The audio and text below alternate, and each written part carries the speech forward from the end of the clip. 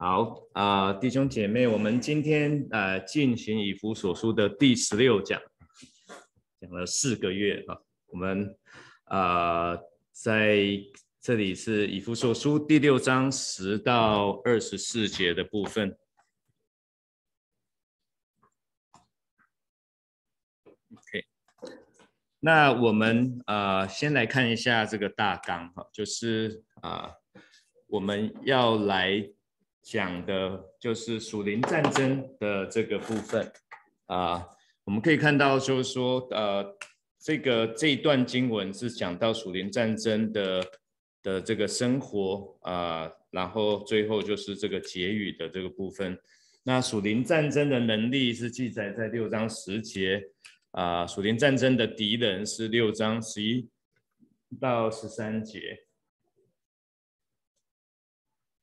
然后呃，属灵战争的这个军装哈、我们会来介绍这个军装，十四节到二十节。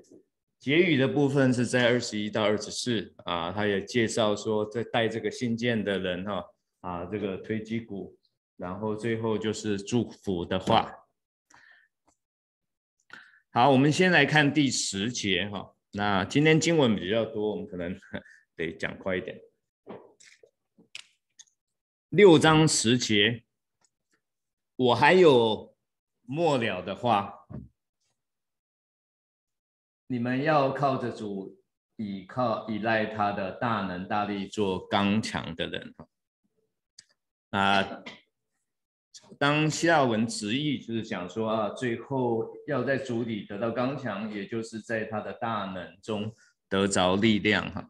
所以我们在这一节当中，我们来看两个地方，一个是我还有末了的话哈，那啊、我们可以看到说啊、保罗在这里就是来到他这封信的结尾，为什么会有 echo？OK，对着神的全家，他就是呼吁说，哎，每一个基督徒都要来做这个，要来当基督的精兵哈。所以呃，基督徒的人生就是一场征战哈，然后就是撒旦的大军就是要来妨害、阻挡啊、基督的工作。所以当我们当我们这个人会妨碍到撒旦的工作的时候，啊，撒旦我们就是成为撒旦的眼中钉哈，所以撒旦要除之而后快。那啊、弟兄姐妹，你们知道说我们呃，我们现在啊、我们的仁爱小组啊、在杨弟兄家，我们啊、在进行幸福小组的培训。我们这个礼拜六啊，就是再过六天，我们就是正式要开始的。那我们当我们愿意去传福音的时候，其实撒旦是很很难过的，会很不舒服，所以撒旦想要会想要来破坏这件事情。所以我们要当基督的精兵，我们就是要抵挡这个撒旦的这个攻击哈。所以我们要把自己预备好。那弟兄姐妹，你们假如没有办法实际来参与在这个幸福小组当中，你可以做什么呢？你可以一个就是你可以开口去邀请你的朋友跟亲人啊、来到这个幸福小组哦，这是第一点。另外一点呢，你可以做的就是为着幸福小组祷告哈，为着啊、杨弟兄啊、的家啊开放来祷告，为着我们啊、有很多的同工啊弟兄姐妹啊来祷告，还包括为着我们啊新来的神学生啊，他要来带领这个幸福小组啊来祷告哈。那这个就是，其实是保罗在这里也是在交代这些基督徒，你们要做一个精兵哈。注意哈，魔鬼不会浪费火力去攻击虚有其表的基督徒，魔鬼喜欢攻击谁？魔鬼喜欢攻击那些很喜欢传福音的的基督徒。所以，可是你会不会觉得很矛盾？有有时候有人讲说，哦，那魔鬼不喜欢这种太太积极的基督徒，不喜欢基督的精兵的话，那我怎么样？我避免攻击，我就不要当基督的精兵就好了。可是我们真正要当一个基督徒，我们就是要遵守耶稣基督给我们的吩咐哦，包括这个大使命，包括要叫我们守的诫命，包括。啊，耶稣基督告诉我们说，要过去关心这个最微小的人，就是我们行在这些最微小的人身上，就是行在耶稣基督的身上。所以，我当我们去做关怀，当我们去做探访，当我们去啊去呃跟慕道友熟悉，我们去传福音，或者我们去邀请他们来幸福小组啊，这个会引起呃我们今天所讲的这个主题哈。啊，属灵的征战哈，就是魔鬼会想要攻击我们，可是我们应该要成为基督的精兵，我们不要害怕这样的攻击。当我们察觉到魔鬼在攻击我们的时候，其实我们一点我们应该要感到欣慰的，就是我做的事情，魔鬼觉得怎么样？魔鬼觉得我们我不是虚有其表，我是真正的一个基督徒，所以魔鬼想要来攻击我。那我能够做什么呢？呢，我能够请弟兄姐妹一起来为我守望，为我祷告，然后就是来抵挡这个魔鬼。那我们今天就是要怎么教教导啊？保罗透过这一封书信教导啊，以弗所的信徒怎么去跟魔鬼征战哈。然后啊，在这里讲保罗讲到说啊，要要做一个刚强的人哈。啊，直意是说你们要被强化。什么叫做被强化？强化就是不是自己，不是自己练武功，然后变得变成变成那个什么啊武林的呃最最强的这个啊剑客哈，不是被强化是怎么样？这是被动的。意思就是人没有办法自己刚强起来，要借助外力。谁可以来强化我们？就是耶稣基督嘛，就是我们所信靠的天赋，能够来强化我们。所以说，啊，保罗在这里不是讲说要靠着主，啊，要靠着主，啊，靠着主的确可以刚强，哈。然后保罗在。后面更深的意思是说要怎么样？要在主里哈，所以我们一直在讲到说，耶稣基督说我是什么？我是葡萄树，然后你们是谁？是枝子哈，枝子要连在葡萄树哈，才能够才能够发挥它的作用。所以我们怎么样？我们需要在主里，我们才能够做刚强的人哦。所以这个就是在讲到说，在主里刚强哈，在主里刚强。好，那我们接下来看第十一节。第十一节说，要穿戴神所赐的全副军装，就能抵挡魔鬼的诡计哈。那啊，希腊文直译是说，啊，我这个，我这个，这个。Miss 掉了，没有没有 update 哈。那我们呀，我们来看一下这个军装哈。这个军装就是说啊，他说我们要穿上属灵的军装哈。我们到时候会一个一个介绍哈，就是说要用什么？用呃真理的腰带啦，公益的护心镜啊，救恩的头盔啦，信德的藤牌啊，平安的鞋，还有圣灵的宝剑，神的道来。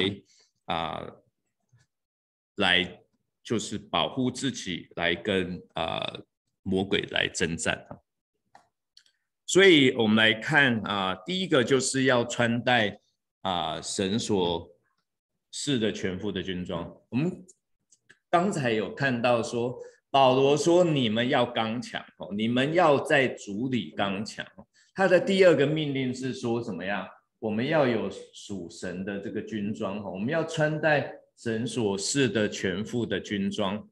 那穿信徒要穿着全副的军装，哦，重点在哪里？重点在神所赐的哈。所以你不要想到说，哦，我我穿的军装，我穿的军装是什么？啊，我我挂了什么一串那个蒜头，对不对？然后呀，然后什么桃花剑哈，这些东西不是神所赐的哈。那现在保罗教导我们的是神所示的全副军装哈，所以我们要要抵挡魔鬼的计谋，我们要要怎么样？要这个装备要齐全哈，所以你不能去讲讲说啊，你什么东西啊？比如说，比如说我们现在就是说，哎，我们要要呃，就是加强我们的免疫系统啊，预防 co 预防这个 COVID 啊。然后我们就讲说，哦，比如说，哦，我们我们有听到一些偏方啊，比如说，哦，什么，呃，酸，呃，呃，热柠檬啊，鲜柠檬啊，还是什么，呃，有姜啊，有蒜头啊，什么的。那这些东西当然也都很好，可是就是重点在于说，你真正的啊，你的免疫系统啊，要能够强健。那的免疫系统强健，它就有。不同的啊地方要去注意哈，你要减少压力，你要有充分的睡眠啊，你要有啊均衡的营养，你还有适当的运动，你来来强化你的免疫系统。那我们现在就是绳索式的，我们要穿戴绳索式的全副军装，所以这件事情包括怎么样，我们要穿戴，我们要主动的去穿戴，这是一件事情。另外呢？我们要认清楚神所赐的军装是哪些东西，我们要认清楚。那神赐给我们，我们要把它穿上才有用啊，不然他赐给我们没有穿也没有用啊。所以我们要知道神所赐的军装是什么，然后我们要把它穿上来啊。所以我们要了解到说，魔鬼他会出尽计谋，他要来影响我们，所以。啊，它可能会让我们沮丧啊、挫折啦、混乱呐，或者是道理错谬。就举举我们刚才讲的哦，我们要透过幸福小组要来传福音，然后结果呢啊，第一可能第一个礼拜哇，结果小猫两三只，或者是说啊，我们邀请了哦，邀请半天就。就人没有来，或者是说邀请了人家答应说要来，结果当天又没有来，或者是啊当天真的很要很想要来，然后那个那个 best 就是我们邀请的人啊开车开到一半啊，就是有有车祸啦，或者说有阻挡，有其他的事情发生，然后就没有办法来了。所以其实这些事情我们都要啊能够预备哈，知道说。可能会发生类似这样的事情，然后我们可能啊，就是假如不晓得会有这样子的事情发生，我们可能啊，我们这些去邀请啊慕道友的人，我们就会觉得沮丧哈。然后我们那些啊用很多精神准备的啊要来带领的啊带领幸福小组的这个弟兄姐妹，就会觉得怎么样？会觉得挫折哈。那可是我们只要想清楚说。我们做这些事情是为谁做的？我们就是为着耶稣基督，为着神在做，不是为我们自己做。所以我们要放心的把这个结果交给神，我们只要努力去做就好了。好，这个就是很重要的。所以我们不用去计较这个成果怎么样，我们只要是要用心，我们用我们的时间，用我们的精神，我们努力的去做，然后结果怎么样，就是圣灵的动工。那假如有属灵的搅扰，我们就是啊，穿上我们全副的神所式的全副军装来对抗。那我们在一段时间，我们就可以打倒这个魔鬼，然后我们能够在属灵上面啊征战得胜哈。我们可以看到说，神将得救的人啊天天加给我们的，我们可以享受这样的喜乐。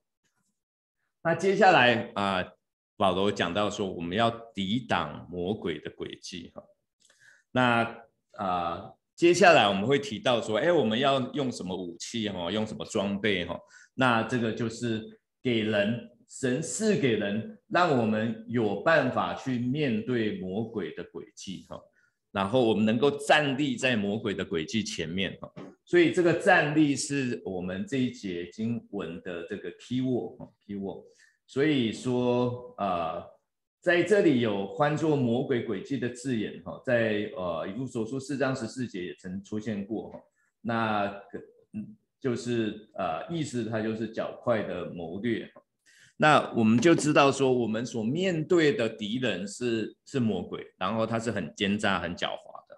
所以我们啊这些有经验的基督徒战士哈，就是要了解到说魔鬼其实是诡计多端的哈。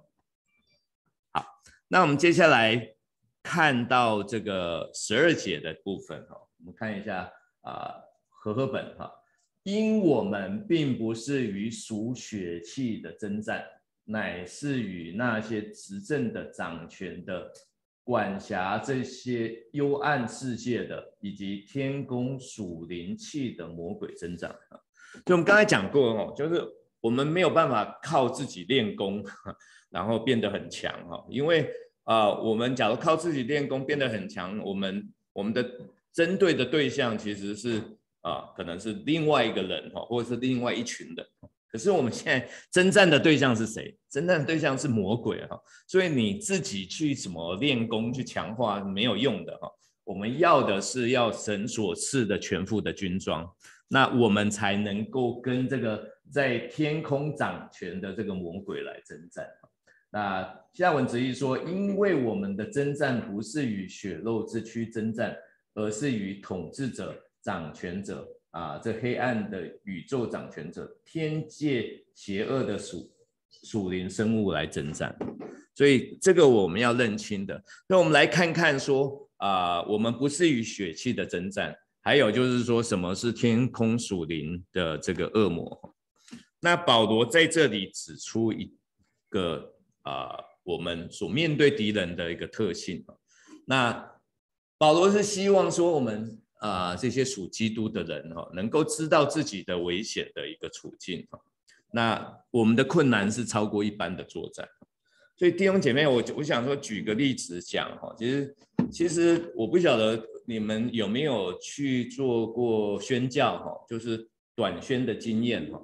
那我曾经有带队出去短宣哈，然后也之前也听到其他的人啊。就是有有短宣队出去，去比如说像说他们到台湾去短宣的时候，然后你知道台湾台湾有很多什么很多的庙，那其实台湾乡下其实大大家就是民众聚集的地方就是庙前的这个广场的，然后这些短宣队他们就是到到庙前的广广场去去传福音嘛，就是啊去唱诗歌啦，去去跟大家讲。讲这些圣经故事啦，结果结果很多的这个啊嗯，我们就是说短宣队的队员，就通常都是还蛮年轻的，结果就是去一次，然后怎么样？然后晚下午晚上回来，然后就怎么样？就生病了啊，就生病。那其实就是真的是在那样子的状况之下，其实又属灵征战。他们在做魔鬼不喜欢的事情，然后魔鬼攻击他们。那可是是一定会生病吗？其实不见得哈。其实，假如说在在出去到你到魔鬼的地盘之前，你就好好的啊做洁净自己，然后认罪悔改，然后做祷告，然后彼此互相的带导，就是守望，就是你的。你的就是防御能力是比较强的哈，就是魔鬼就不容易啊让啊这些呃短宣队的成员就是生病这样子，所以我们其实就是啊就是在做宣教，就在训练短宣队的人，我们通常都会帮他们上课，然后就告诉他们说，一开始我们要怎做怎么样子的预备哦，再一次的提醒我们自己哈，我们我们基督徒的。啊，这些我们要知道，我们不是与属气血气的征战哈，所以我们不是跟人对抗，我们是跟这个啊这个邪灵哈，跟魔鬼哈，所以我们不能靠着血气去对抗魔鬼，当然会利用人啊，借着人来阻挡我们哈，比如说我们跟那啊，比如说我们。举例讲，我们刚才讲的短拳队到到这个庙前的广场，然后可能就有人过来讲说：“哦，你们你们来这里不可以哦，你们没有申请，你们没有权利用这个地方哦，啊，你们离开哈，啊，所以魔鬼也有可能利用人来阻挡啊神的工作啊，这个也是可能的。可是我们要知道说，他们他所有的的这个伎俩哦，不止于此哦，他有还有很多其他的，我们甚至可以讲说是啊超乎啊人的范围哦，就是一些超自然的，就是啊属灵的这个这个攻击哈。那我们要去注意到，还有就是说，哎，当你在传福音的时候，其实啊你这个两个很爱主的的弟兄姐妹，就是你们两夫妇怎么样？就很容易吵架，你就很莫名其妙的。其实，哎，以前我们不常吵架，可是我们这一段时间我们很认真的要传福音，结果我们在吵架啊。那真的是要自己要有警觉性，这个就是魔鬼的攻击啊。所以夫妻就是要一起啊，静下心来一起祷告，然后啊，就是求圣灵的保守，然后守望，然后知道说这个是也是魔鬼的。的轨迹，那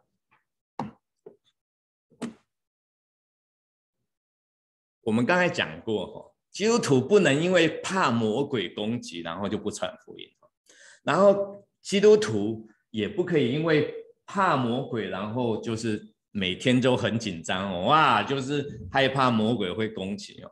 其实要知道说，神的军装是给我们我们基督徒一切的需要哈。保罗说：“可以让你站立得住。我们面对撒旦的攻击，我们还可以怎么样？还可以站立得住。那保罗在这里提到啊，这些堕落的天使啊，他形容这些堕落的天使是执政的，是掌权的哈。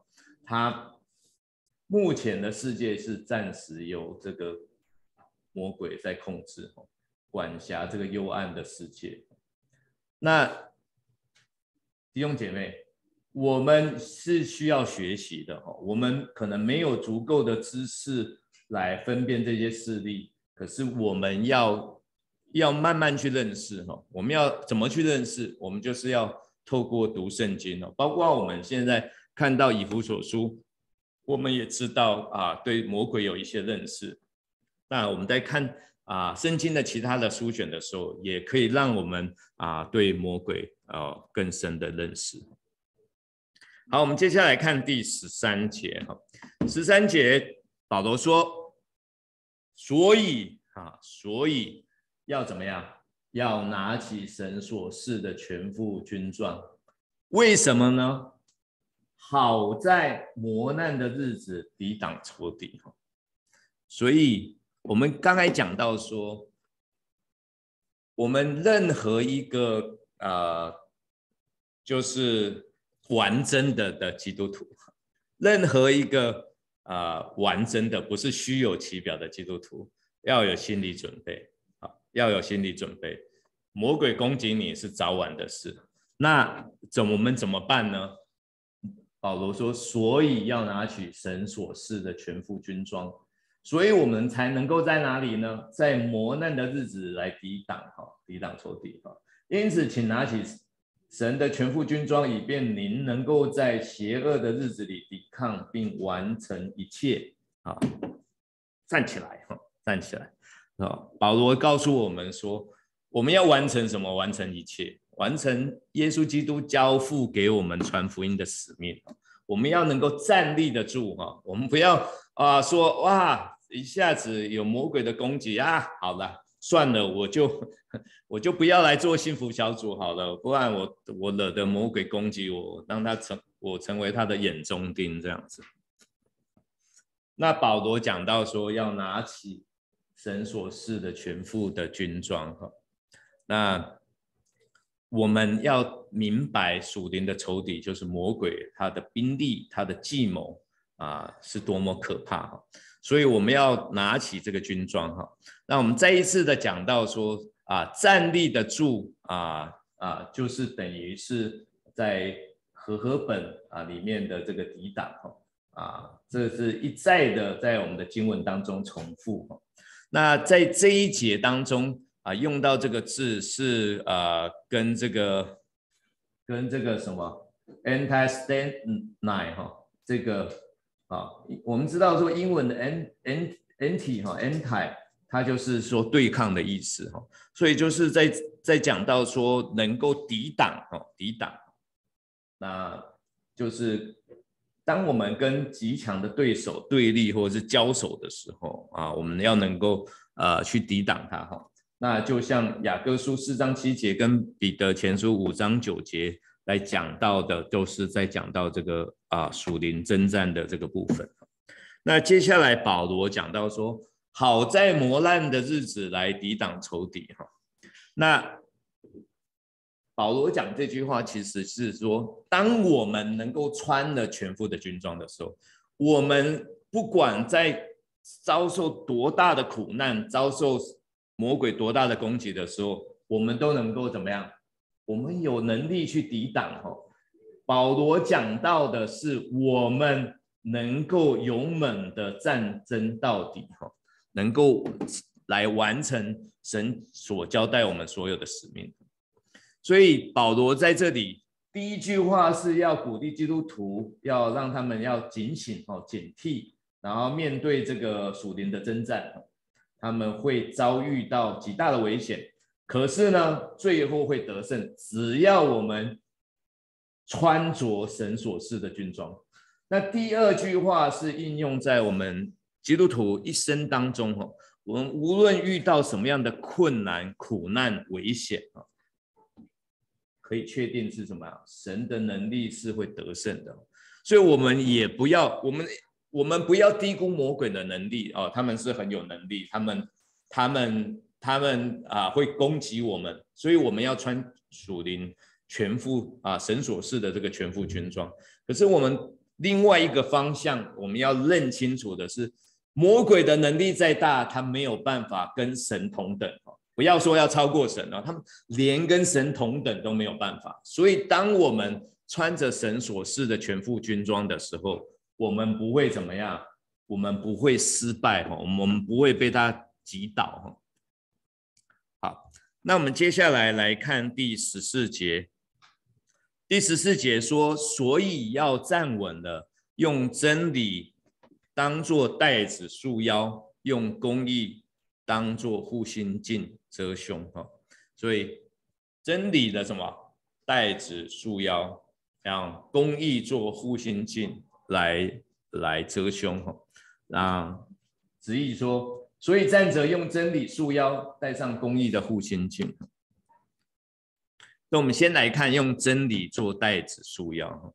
我们知道魔鬼有一个特性，他就是爱撒谎啊。我们从从啊啊亚当夏娃跟啊，我们看到圣经好像是夏娃跟跟撒旦在对话。看到那个对话，我们就知道说呃，就是撒旦其实就是说谎的哈。他说谎的的技巧很高哈，你不会一开始就知道他说谎哈。比如说。比如说，呃，比如说夏娃跟撒旦讲说啊，神说什么啊，林中的果子都可以吃，唯独啊这个分别善恶树上的果子不能吃。然后，然后撒旦怎么说呢？撒旦说，撒旦说，神启示说，神林中的果子都不可以吃吗？啊，所以他会会把它模糊的，然后你。你就就不清楚了啊，所以保罗告诉我们说要怎么样用真理当做袋子来束腰哈，所以用真理就来抵挡魔鬼的说谎哈，所以当我们的生活是真理所掌控的哈，我们就可以打败这个魔鬼撒旦哈，然后我们要记得哈。腰带会把盔甲的各个部分把它连接到一起，哈，所以真理是我们基督徒得胜的一个整合的力量，哈。所以我们讲到说这个腰带很重要，哈，所以保罗第一个就提到这个腰带，我们用这个腰带束腰，你可以可以想象，哈，其实你要看那个武侠片，或者是看那个中世纪。欧洲中世纪的那个、那种、那种骑士啊，哈，那个剑客，他们的剑配在哪里？也是配在腰间哦，也是透过这个腰带。所以这个腰带很重要，我们要用真理来束腰哈。那这个就是啊，我们啊面对撒撒旦攻击的第一个防防护的一个武器。所以啊，我们要常常把神的真理放在我们的心里，我们要去思想神的真理啊啊，神的真理啊。当我们不能行出道，我们就没有办法使用神的道。那当一个谎言进入到啊信徒的生命当中，一切就变得岌岌可危。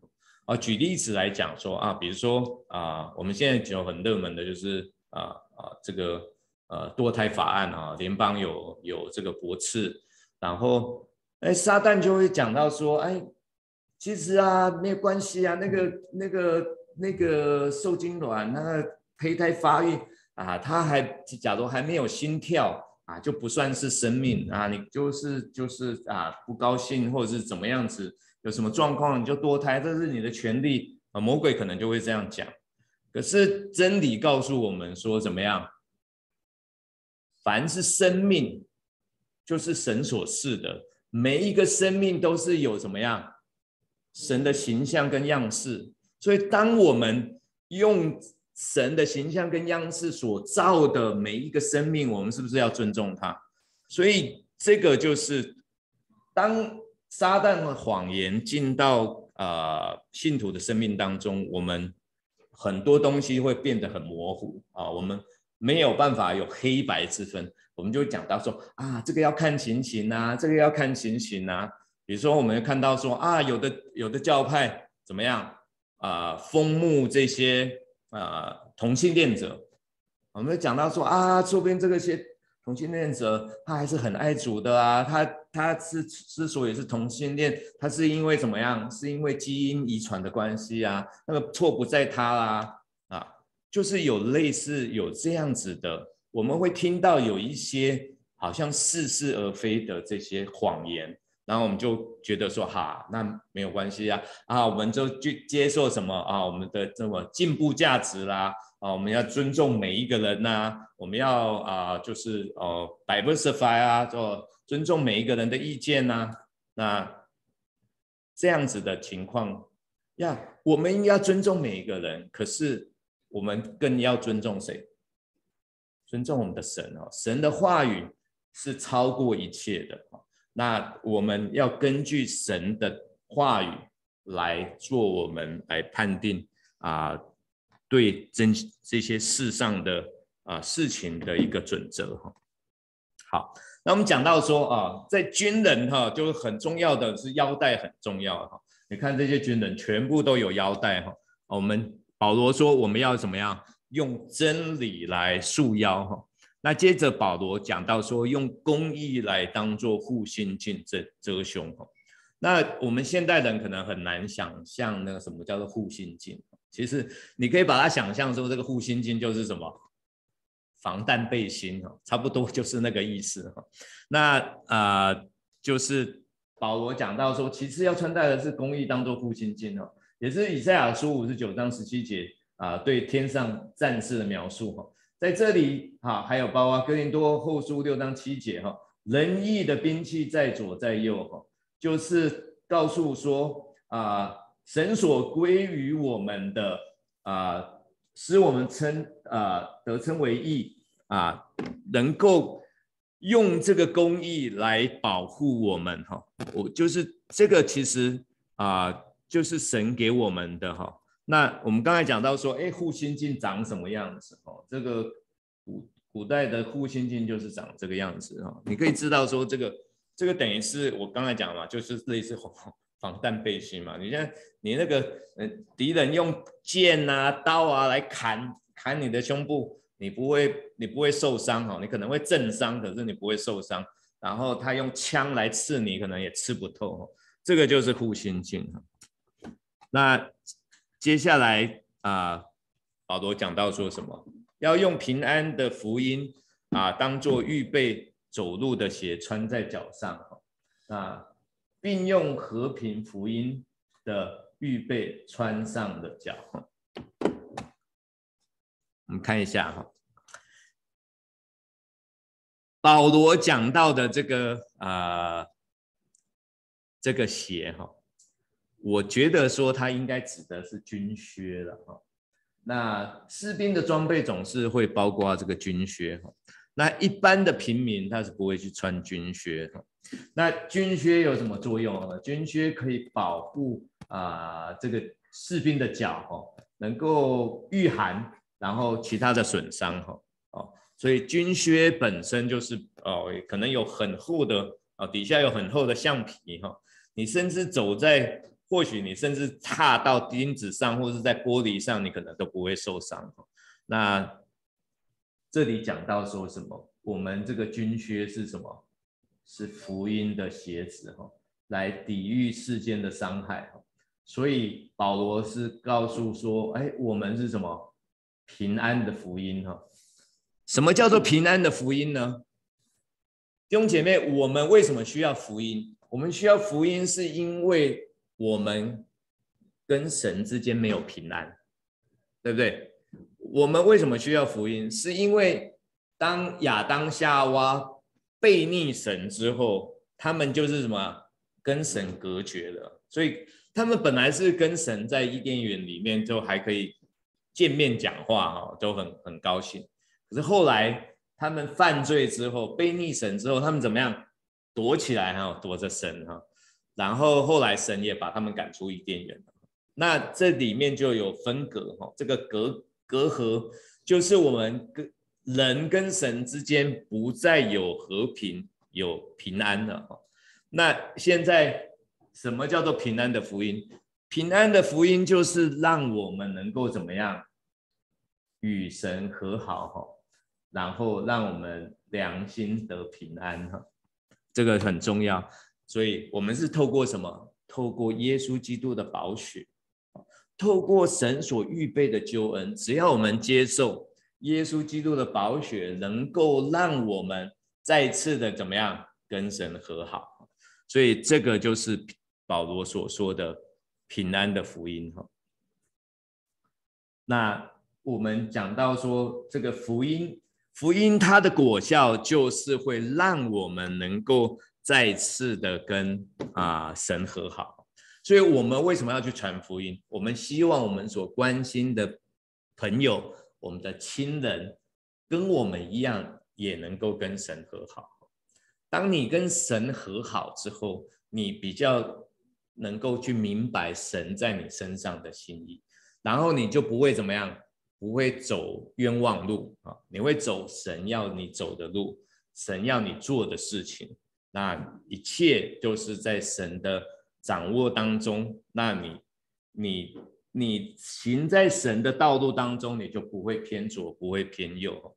然后就是一切啊，能够有神的指引，那你就就反正你的一生啊，就是合乎神的旨意来行好。那这个就是啊和平的福音啊来做这个啊靴子哈军靴。好，那我们接下来来看第十六节哈。十六节讲到说，此外又拿着信德当做藤牌，可以灭尽那恶者一切的火箭。那我们就是来看看说啊。除了所有这些，你还拿起了信仰的盾牌，你可以用来用它来熄灭邪恶的所有燃烧的箭哈。那这个就是啊，保罗讲到说你要拿什么啊，做信德当做藤牌，藤牌长什么样子哈啊？这里讲到哈，讲到说罗马人的盾牌哈啊是怎么样？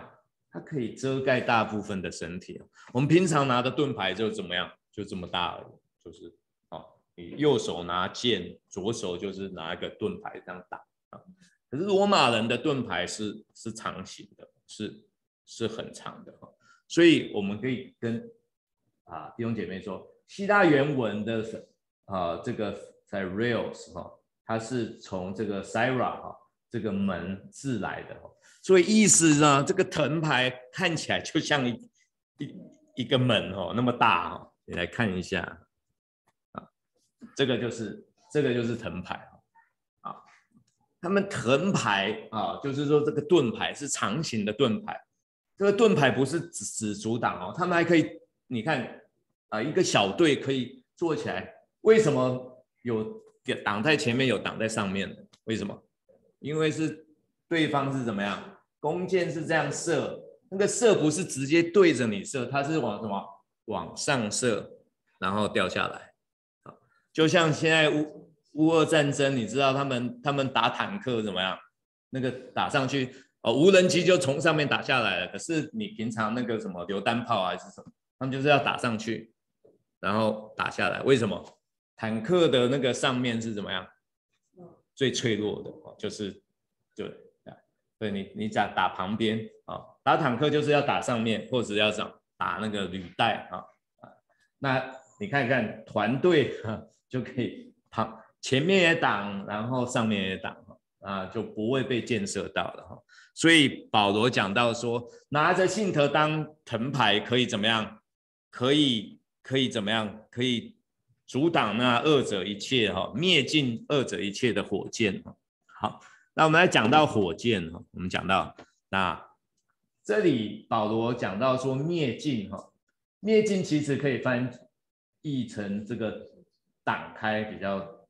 比较正确哈，可是灭尽可能可以比较表达保罗的意思哈。保罗好像是在讲说，魔鬼的剑不但尖锐，可怕的是箭头上有火。所以要知道，弟兄姐妹要知道说，这个火箭是什么？这个火箭不是我们现在的火箭哈，是怎么样？是箭上有火的哦。我们刚才讲到说啊，他对上这边射哈，然后。射下来，那保罗啊，我们和尔本翻译说是藤牌啊，你就想说，哎，藤牌怎么挡得了火箭？这个箭上有火，是不是藤牌？藤是植物，是不是就会烧起来哦？其实不会哦，因为因为保罗讲的，他们可能当初在希腊那边的这个啊，希腊罗马的，他他们有有的那种藤牌，其实他们那个藤牌也经过加工的哦，他们上面有一层。一层那种那种涂料哦，是算是一种油，可是那个是没有办法燃烧的哦。然后不但防水，又又又又没有办法燃烧，所以是这样子的一个心情哈。那就可以阻挡啊灭尽啊一切的这个火箭哈。OK，那这个是保罗讲的哈啊，我们知道说火箭是啊有。有带着火的箭啊，像中国的那种火箭，就是它就是前面有弄一个这样说啊，比如说像说棉布哈，然后它沾的这个这个油，然后在这个箭头上面绑着，然后点火，然后这样射哈，这个就是啊火箭哈。那保罗接着讲到说，要戴上救恩的头盔，就是。啊，还有呢，拿着圣灵的宝剑就是神的道。那啊，旨意说戴上救恩的头盔和圣灵的宝剑就是神的道。我们看到说戴上救恩的头盔哈，那保罗所用的动词啊，就是在形容救恩是神赐予的哈啊，然后他同时又暗示说救恩是对人的一个供应哈。那我们要知道说，这个救恩的头盔跟呃基督徒的其他的这个军装一样哈，我们就是要怎么样？我们要知道说，神所赐的，我们要好好的掌握住哈，我们要把它穿戴上来哈。那灵魂能不能得救，不是到末日才揭晓。我们当我们戴上救恩的头盔，当我们接受耶稣基督的救恩的时候，我们应该要。马上有把握说我们会怎么样？我们会得拯救。在末日，在神审判的时候，我们怎么样？我们可以通过审判，我们可以站立得住，我们可以啊，跟耶稣基督啊同在乐园啊，回到天家当中。所以，我们不不要害怕哈。当我们戴上救恩的头盔的时候，我们已经是属神的哈，就像。啊，我们以弗所书前面讲到说，好像印的什么 seal 哈，英文那个 seal 就是印记，就像我讲过嘛，像像那个牧场的牛上面牛屁股被印了一个印记，或是马的屁股被印的印记，是属于这个农场，属于这个主人的。我们被印了什么圣灵的印记，所以我们是属什么？属耶稣基督，我们属神的哈。没有人可以把我们带走，所以我们知道说，我们最后的去处就是回到天家，跟神在一起哈。所以这个就是救恩的头盔，我们不需要等到末日才知道我们是否得救，我们明明白白、清清楚楚的知道，我们只要接受了耶稣基督的救恩，我们就得救了。所以这个就是头盔哈，救恩的头盔。然后呢，保罗说要怎么样？要拿着圣灵的宝剑弟兄姐妹，你看看哦，你从从腰带啦、护心镜啦，然后呢，军靴啦，还有什么头盔啦，这些是什么？这些是防御性的吧？哦，信德的藤牌哈，都是防御性的。可是最后这件武器是什么呀？剑啊，剑是什么？剑当然人家攻击你的时候，你还可以挡，对不对？没没错。可是剑不是只有挡而已，剑还可以怎么样？还可以攻击哈，还可以攻击。所以说，神所赐给我们唯一的攻击的武器是什么？是圣灵的宝剑。然后啊，所以我我们要知道说。啊，在呃圣经上哈，希伯来书四章十二节讲到说什么？他说神的话好像是什么？就是两刃的利剑，然后它可以怎么样？它可以刺刺穿哈，好进到我们啊的骨髓哈，好，所以说它可以穿透人心，好像铁铸的剑可以刺入人的身体一样哈，所以。弟兄姐妹，我我们有时候我们听讲到，我们听到啊，有某个牧师很好的信息啊，或者我们听讲到，甚至我们在上主日学的时候，有时候我们会觉得怎么样？我们讲说扎心，对不对？扎心啊，扎心就是怎么样？你真的对神的话语有感有感动啊？神的话语告诉你说，哎，我需要做一些改变了，我好像我这样子是神所不喜悦的哈，所以我要怎么样？我要。我要改变，所以我要听到，我要存到，我要行到啊！不要，我要去做到。所以我们要知道说，神给我们圣灵的宝剑，哈啊，我们要好好的去运用啊。这个就是圣灵的宝剑。那我们来做一个复习哦。其实啊。你到时候反正啊，我们这些讲义都会上传到这个我们的网页上面哈，所以你可以，你到时候可以仔细的去看哈。那我们我们讲到说啊，我们一开始讲到说什么啊，真理的腰带啦，啊哦，公益的护心镜啊，所以你看你看到真理的腰带的时候，你可以去查雅各书四章啊那那个部分哦，四章三节。那公益的护心镜哦，这个经文哈啊。有讲到说，呃，神会鉴察我们的心呐，啊，我们的认罪悔改啦，哈，然后就是，呃，经文参考的经文在哪里，哈，然后救恩的头盔啊，就讲到约翰一书四章四节，讲到说，我们接受救恩就是我们就是神的儿女了啊，然后我们既然是神的儿女，我们就拥有永生了哈，那我们要怎么样？我们要以基督的心为心哈，所以这一些经文，你有机会能够去把它。查出来，然后去把它读一读哈，这个就是神所赐给我们全副的军装哈。好，那接下来呢？啊，保罗在讲到说，哦，应该要怎么样？我们应该要怎么样？我们刚才讲到说，神的话是圣灵的宝剑哈，我们要牢记神的话。然后保罗接下来讲到说，我们要怎么样？我们要靠着圣灵，随时多方祷告祈求哦，这个是一个啊。所以弟兄姐妹啊，你假如现在还没有啊，就是固定的去参加我们教会的祷告会，牧师鼓励你应该要来参加。你假如真的很忙，或者说你平常比较早睡，我是希望说你可能星期三的时候可以可以啊，你那天可以晚一点起床，然后然后你可以晚一点睡哦，或者是呀，就是白天能够睡饱一点，能够来参加祷告会。那再不然呢，最低最低的要求是一个月你能够挑一个。礼拜三就来参加祷告会，为我们呃教会来守望啊。保罗也是在这里告诉基督徒们说：你们要靠着圣灵，随时多方祷告祈求。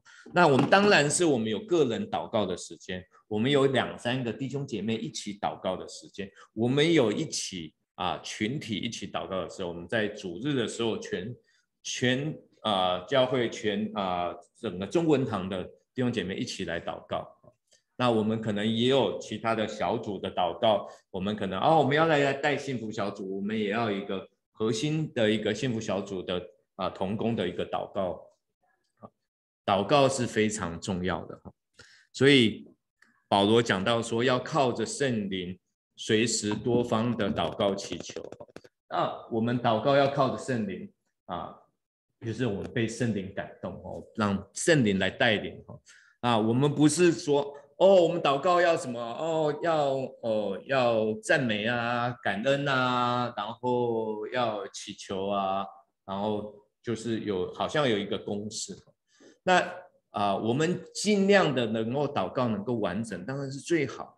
可是我们不要怎么样？我们不是死记硬背啊。我们祷告不是讲出一些很华丽的话，然后就是啊听起来啊很舒服。我们祷告其实应该啊，我觉得说祷告就像我们跟我们的父亲讲话哈，我们我们在讲，那我们跟父亲讲话也不要整天只只会跟父亲要东西而已哈，应该要能够跟父亲讲说啊，你什么事情哦觉得对我有很有帮助，然后我从这里从你的话语当中我得到什么样的一个感想，我我知道说啊。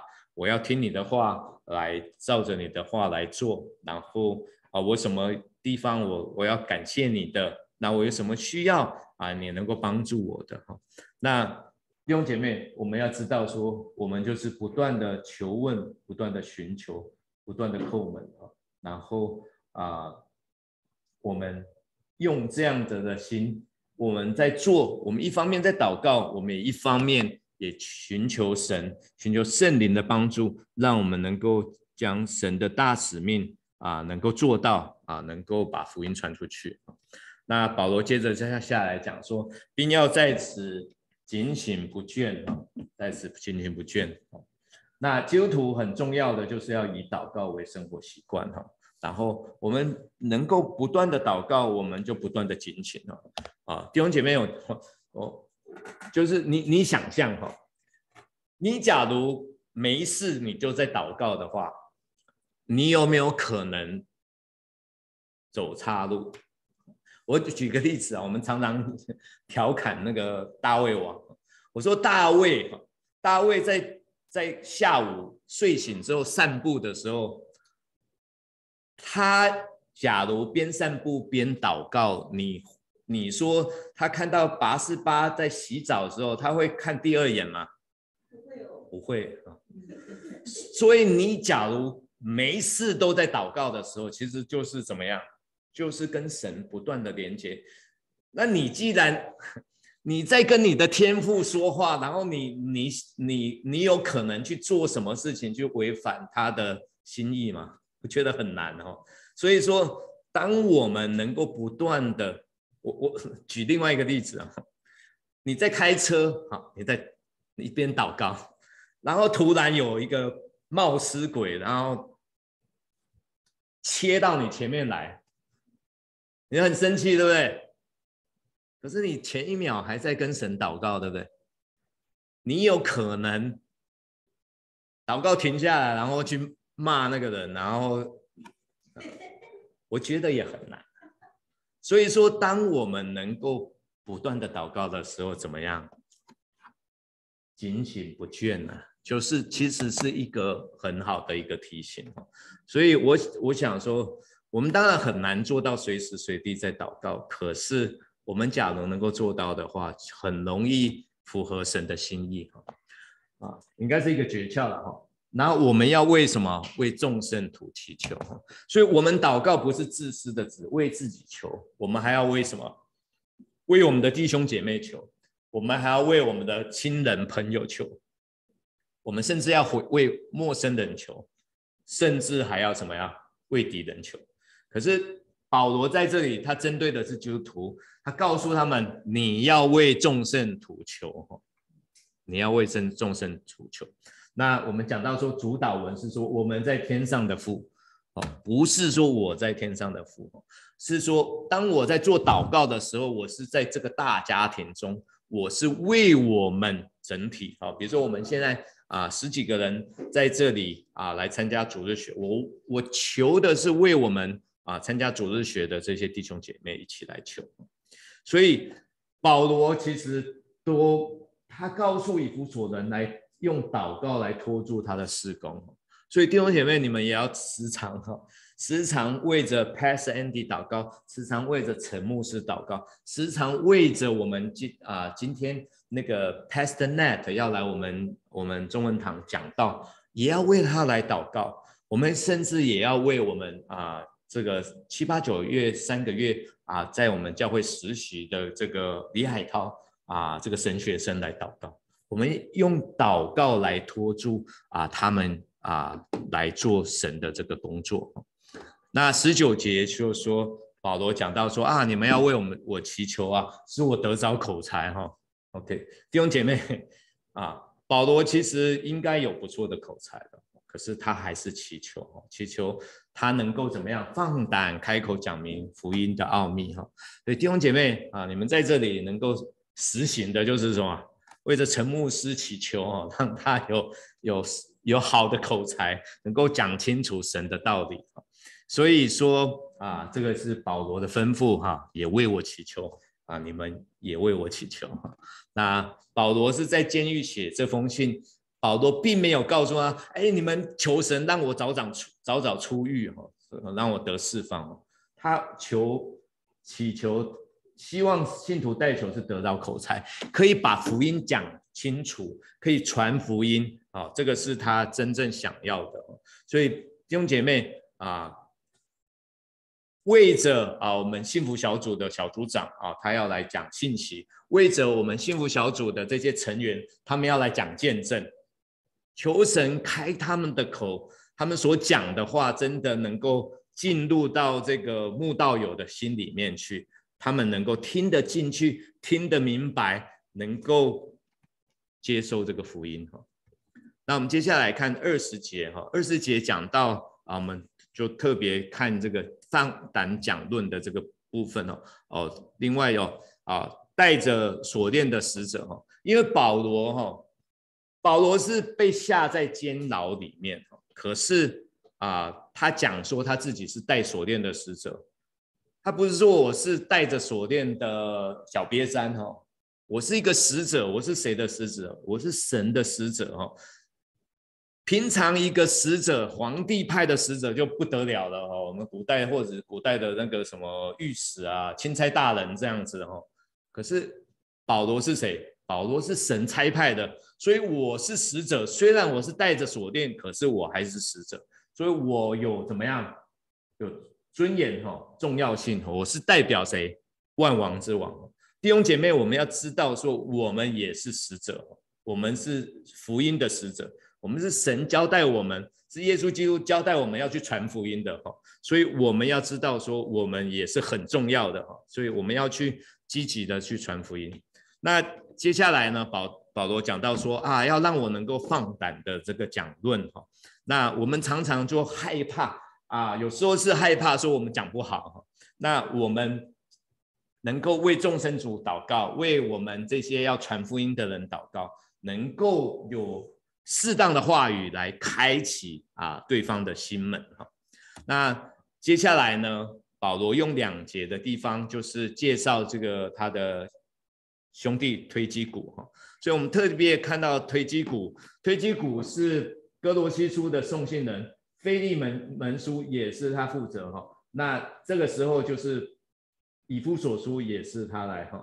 那啊，我们对这个推基谷啊，是在保罗第三次传道旅行结束的时候，然后他是亚细亚教会的代表哈。那你们详细的部分你可以再去看讲义哈，我们就可以对这个推基谷啊有进一步的这个认识哈。那我们接下来看一下二十二节，他就是说他打发推基谷到你们那里去，是要让你们能够知道我的光啊，我们的光景，然后叫他安慰你们的心哈。那弟兄姐妹，保罗也不是单枪匹马的单独战斗他是有跟其他的。信徒还有跟他的同工来来来作战哈，一起作战，所以他差派了推基鼓去跟以弗所教会的人讲到说啊，你们不要不要不要灰心啊，我我差派这个人啊去鼓励你们啊，他也是我一个很好的一个同工。那再来呢，就是祝福的话哈，愿平安仁爱信心啊，就是。从父神和主耶稣基督归于弟兄们哈，所以在这里讲到的这个问安跟祝福哈，平安仁爱喜的啊信心哈，就是基督徒的生命中的三大特质跟福气哈，希望读者可以得到哈。平安就是跟神和好，然后呢，然后还有啊仁爱跟信心哈，仁爱跟信心。爱心是出乎信心哦，没有信心跟基督联合，爱心就没有办法增长哦。所以弟兄姐妹，我们彼此之间有爱，能够彼此相爱，也是因为耶稣先爱我们哈。那最后我们看到第二十四节，我们要讲到说啊，就是这个啊祝福哈，愿所有诚心爱我们主耶稣基督的人都蒙恩惠哈。所以啊，诚心是在讲到说啊，心地的一个纯洁哈。没有腐败哈，那啊，保罗祝福说啊，我们这些爱主的人都能够蒙到恩惠啊，以弗所教会的人啊，你们是爱主的呃基督徒，你们也会多得到啊耶稣基督的恩惠哈。那我们请啊任长老帮我们做个结束的祷告。